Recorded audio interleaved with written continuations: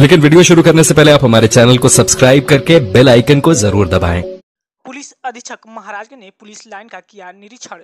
महाराजगंज स्थित police line में आज पुलिस अधीक्षक महाराजगंज डॉक्टर कस्तूब पहुँचे और पुलिस लाइन में मौजूद hospital, canteen, badminton hall 112 control room, आरक्षी बैरक, मेस अर्दली कक्ष रजिस्टर आदि सभी का बारी बारी निरीक्षण किया और दिशा निर्देश दिए हैं।